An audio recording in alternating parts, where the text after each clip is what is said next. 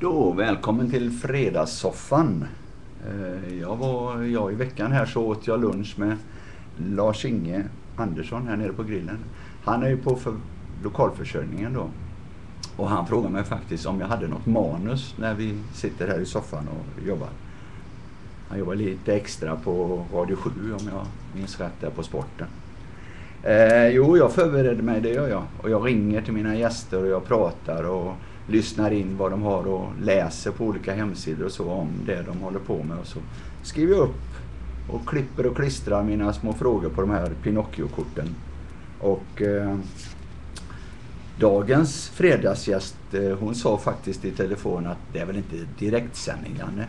Men det är det. Anneli Neumann, du är min gäst idag. Välkommen till direktsändning. Tack. Det är Bambooser som vi använder då för att eh, livestreama, som det heter, det här eh, programmet. Och eh, Anneli, du är anställd som sjuksköterska i Öster och jobbar tillsammans med eh, Marielle i ett stort projekt, eller har gjort under Mm. några år. Ja, Jag har inte jobbat några år. Nej? Utan jag blev ju tillfrågad förra året att få vara med och starta en pilotgrupp i Dalsjöfors. Okej. Som skulle jobba enligt det här läkemedelsgenomgångarna. Då. Ja. Mm. Och eh, varför behöver vi jobba med det här projektet? Berätta om projektet Lär ut heter ju det då. Mm. Eh, det handlar ju mycket om att vi ska få eh, minska, eh, att varje människa ska få en bra läkemedel, rätt läkemedel och i rätt dos. Ja. Idag är det väldigt vanligt att man har något som vi kallar för polyfarmaci. Det är eh, multimedicinering. Ja. Det betyder, multi betyder många. Ja, Det är precis. många mediciner på en och samma person. precis. Ja. Och man säger då att tre läkemedel kan du ha och då kan man liksom veta vad de gör och hur de interagerar med varandra. Men tar du bara ett enda till så är det faktiskt så att då, då kan du inte längre med säkerhet säga vad det gör och hur det påverkar i kroppen. Okej, okej. Så många av våra äldre idag har ju för mycket mediciner för att ofta så får de, du tar en tablett och så får du ont i magen. Ja, då behöver du ytterligare en tablett för det då. Och sen så får du kanske ytterligare problem med någonting annat och då tar du ytterligare en tablett. Mm, mm, mm. Och det är ju, Och det är ju stort genomslag här i Sverige. Ni har ju varit, eh, ja Marie var i veckan var hon uppe i Stockholm tror jag och berättade om Jajamensan. projektet. Och du och Marie hade varit nere i Göteborg läste jag på någon hemsida att, eh, ja. och, och, och presenterat det här. Om jag nu ringer runt till alla sjuksköterskor här i Borås stad och säger att eh, vi håller på med detta. Eh, är de lika positiva som du och Marie eller?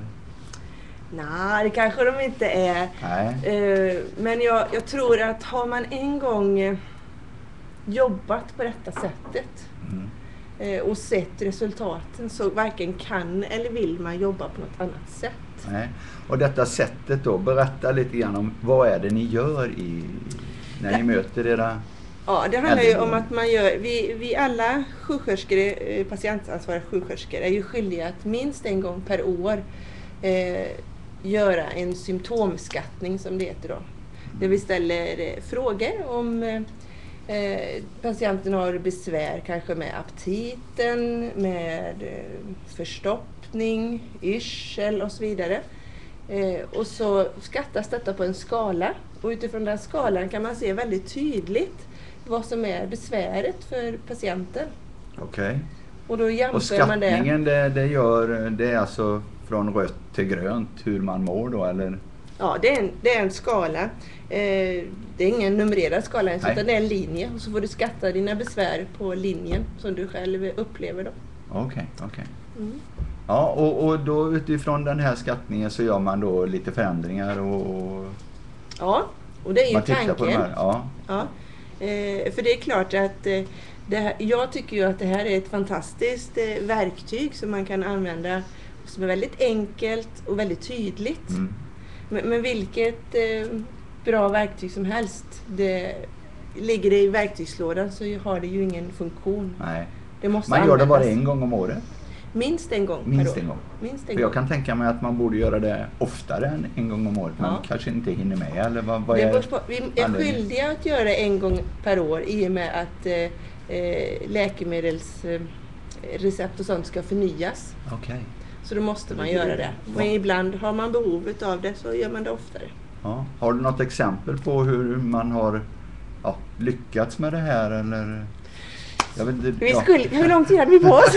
Ja, vi har tre minuter till eller någonting men Ja. har Vi, vi har väldigt många bra ja, exempel. ja, Eh, jag hade ju en man som, eh, det han skattade, hans största bekymmer det var att han var så trött.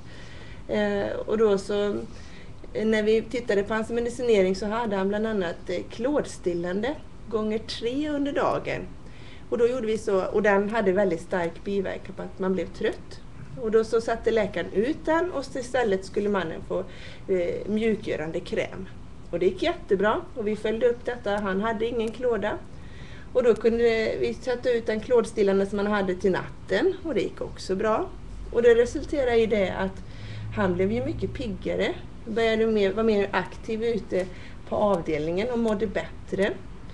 Eh, och så det ena ledde till det andra. Mm. Då upplevde vi inte längre att han var deprimerad. Nej men då kanske vi kan ta ut den medicinen. Och då gjorde vi det. Och så, så idag så, nu när det gått ett år, så kan man ju se det att eh, vi har tagit nya, han led av starkt hjärtsvikt. Hans hjärtsvikt har förbättrats. Vi har börjat kunna minska på de medicinerna. Han hade ett sår som han hade haft i nästan två år som var väldigt svårläkt på grund av hans dåliga cirkulation. Det är nu helt läkt. Och då behövde han ju inte längre ha sina smärtstillande mediciner för det hade han ju inte ont längre. Mm. Så det blir sådana här goda ja. spiraler.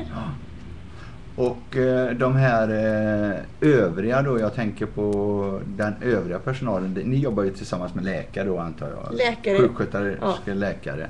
Men övrig omvårdnadspersonal, hur är engagerade de i detta? Det är, ju de, det är ju jag och de egentligen som är själva grundteamet. Mm. Det, är vi som, det är de som är patienten närmast. Ja.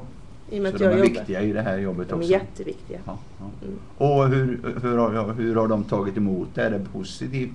Ser de nyttan utav det också? Absolut, det gör Det det. gör de. De, eh, de är helt med på, på tåget när man får se alla goda exempel. Ja, ja. Mm. ja, det är ett oerhört eh, fint jobb som ni gör där och, och eh, det är kul att Borås återigen finns på kartan där och, och framstår som ett gott exempel. Vi får hoppas att eh, du kan övertyga alla andra om att det är bra så att vi får det på alla våra, alla våra som möter eh, våra äldre i Borås stad då, Mm. framöver.